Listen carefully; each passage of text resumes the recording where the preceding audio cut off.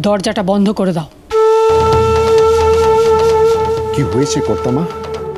তুমি আর এই কুন্তলা কিছুদিনের জন্য এখন কোথাও লুকিয়ে থাকো। পরিস্থিতি স্বাভাবিক হলে আমি আবার তোমাদের ডেকে নেব। কেন? কি গোলমাল হয়েছে কর্তামা? গজেনের ব্যাপারটা জানাজানি হয়ে গেছে। কাজেই এখন তোমাদের ধরে টানাটানি হতে পারে।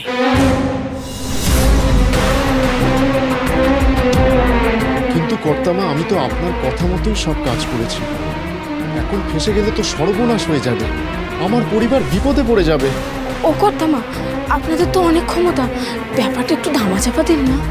দেব সময় হলেই দেব। কিন্তু এখন একটু অসুবিধে আছে। আমার হাতে যে অফিসার আছে তারও চাকরি বাঁচে কিনা সন্দেহ। আর সেটা হয়েছে ওই চিনির জন্য। তাহলে কি হবে কর্তামা? অত চিন্তা করো না। আমারও তো অপর মহলে অনেক চেনা জানা আছে। উপায় একটা বের হবেই। এখন হাওয়া গরম আছে। সেটা ঠান্ডা হতে দাও। কয়েকটা দিনের তো ব্যাপার।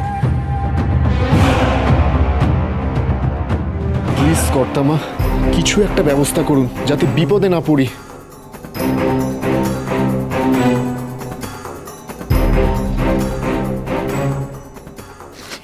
এই নিন আপনাদের সম্পত্তি।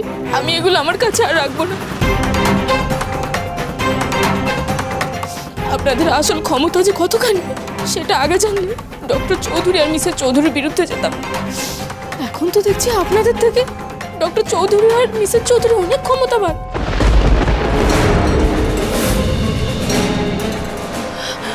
তুমি জানো? কার সামনে দাঁড়িয়ে কথা বলছো তুমি? হেমাঙ্গিনী চৌধুরীর ক্ষমতা সম্পর্কে তোমার কোনো ধারণা আছে? শান্ত মা শান্ত এত মাথা গরম করলে চলে না। বিপদে তো আমরাই পড়েছি কর্তামা আপনারা তো ধরে পড়বেন না। পড়ব তো আমরা হ্যাঁ বিপদে পড়বে তোমরাই। কাজেই যা বলছি সেটা চুপ করে শোনো আর প্রাণের মায়া থাকলে একদম মুখ বন্ধ করে রাখবে। একটু বেচাল যদি দেখি না তাহলে পুলিশ কিছু করবার আগে আমরাই যা করার করে দেবো। এটা মনে থাকে জানো? চিনি। চিনি আমার সমস্ত কিছু শেষ করে দিল। যে পারছে সে এসে আমাকে মুখের ওপর যা তা বলে দিয়ে যাচ্ছে। পায়ের তলার পোকামাকড় আমাকে কামড়াতে চাইছে। মরবে।